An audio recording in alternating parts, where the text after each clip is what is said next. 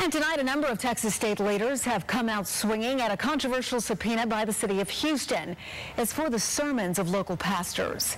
The city attorney sent the subpoenas to five pastors, ordering them to turn over any sermons about homosexuality or the city's openly lesbian mayor.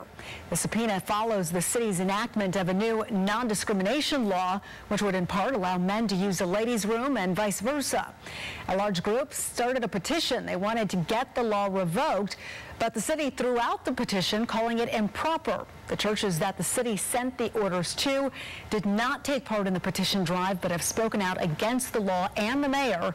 State leaders from Senator Ted Cruz to the Attorney General are calling this an assault of freedom of speech that the government is demanding of the pastors, we will scrutinize, we will use the power of government to determine if the sermons you preach on Sunday are acceptable.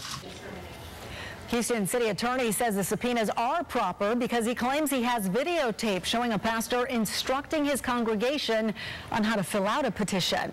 The city tells Fox News it will have no further comment. Well, can you keep